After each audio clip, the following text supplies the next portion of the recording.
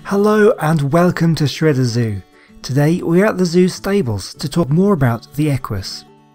First of all, Equus is the name given to all living members of the horse family. Domesticated about 3,000 years ago, the horse had a profound impact on human history in areas such as migration, farming, warfare, sport, communication and travel. Species of Equus lived from 5 million years ago until the present. Living species include horses, asses and zebras. Fossils of Equus are found on every continent except Australia and Antarctica. The fossil record for horses and their ancestors is well represented and is one of the few animals we have a fairly complete evolutionary record of. The horse belongs to the order Perissodactyla, that means the odd-toed ungulates, the members of which all share hooved feet and an odd number of toes on each foot, as well as mobile upper lips and a similar tooth structure. This means that the horses share common ancestry with tapirs and rhinoceroses. The oldest known fossils assigned to the Equidae date from the early Eocene 54 million years ago and belong to the Hyracotherium, previously known as Eohippus. These early Equidae were fox-sized animals with three toes on the hind feet and four on the front feet. They were herbivorous browsers eating relatively soft plants, not grasses, and already adapted for running. The complexity of their brains suggests that they were already were alert and intelligent animals. These animals are considered to have occupied the same ecological niche as a small forest deer today. Changing climatic conditions around 32 to 24 million years ago gradually saw a reduction of forests and an increase of grasslands. The horse ancestors were able to take advantage of the new environments, gradually switching their diet from foliage to grass. They grew longer legs, enabling them to run faster to evade predators and to cover longer distances over the grasslands. At this time, the Mesohippus arose. Aside from having longer legs, Mesohippus only had three toes in contact with the ground rather than the four seen in Hyracotherium. The centre toe was the main weight-bearing appendage, and overall the construction of the foot and larger size reveals that Mesohippus would be the faster horse, an adaptation it needed to outrun its main predator, the Hyaenodon.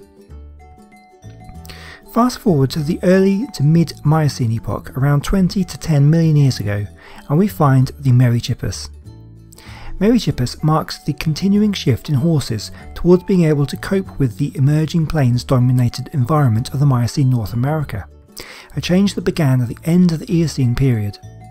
Aside from the changing landscape, this change towards a faster running body was also driven by the appearance of faster running predators like Amphicyon and Epicyon, which were considerably better adapted than earlier predators like Hyaenodon. This represents one aspect of an evolutionary arms race where predators have to adapt to catch faster prey, which in turn has to adapt to run even faster to escape the faster predators. Whereas the earlier forms, such as Hyracotherium and Mesohippus, had more than one weight-bearing toe, Merychippus supported its body weight with feet that ended with a single well-adapted toe that ended in a hoof. Two toes were still present upon either side of this enlarged toe, but they were already reduced to the point of being vestigial, that's present but not fulfilling any purpose. And in modern horses these cannot be seen at all. The teeth of Merychippus had also developed to better cope with eating grass. This in turn led to a more developed jaw and a more horse-like face. The neck had also elongated, better able to reach the ground to feed. Next on our brief history of the evolution of the horse is the Pliohippus, arising around 12 million years ago and continuing on until the early Pleistocene around 2.5 million years ago. The most noted feature of Pliohippus is that it has even more developed hoof feet supported by the middle toe with the two side toes being reduced so much that in life they would have been barely visible if at all. It is still under debate, however, as to how close Pliohippus was to modern horses that come under the Equus genus. Pliohippus was certainly ancestral, but first may have given rise to other forms, such as Astrohippus or Dinohippus, which are in turn thought to be more closely related to modern forms due to their even greater similarity. It must be pointed out at this point that the evolution of the horse was not a simple straight line with one of the previous species evolving into the next. there were many more species that branched off from those I mentioned, and indeed some of these species would have lived alongside each other for thousands, if not millions of years. For example, the last of the early horses I want to mention today is a Hipparion. Hipparion appeared at the start of the Miocene period and continued to thrive until well into the mid-Pleistocene, surviving for some 22 million years. In the space of this time, Hipparion colonised most of the major continents with the exception of Antarctica, Australia and South America. Despite its success after the Miocene, Hipparion was living in a world that saw the emergence of more advanced horses, all the way up to the point where the modern forms began to appear. These new forms, as well as other new grazing animals such as mammoths, would have meant increased competition for the same resources that Hipparion used.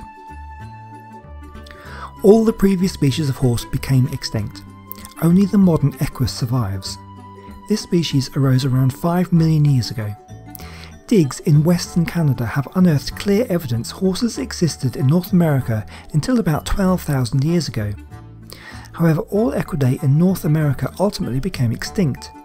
The causes of this extinction, simultaneous with the extinctions of a variety of other American megafauna, have been a matter of debate. Given the suddenness of the event, and because these animals had been flourishing for millions of years previously, something quite unusual must have happened. The first main hypothesis attributes extinction to climate change.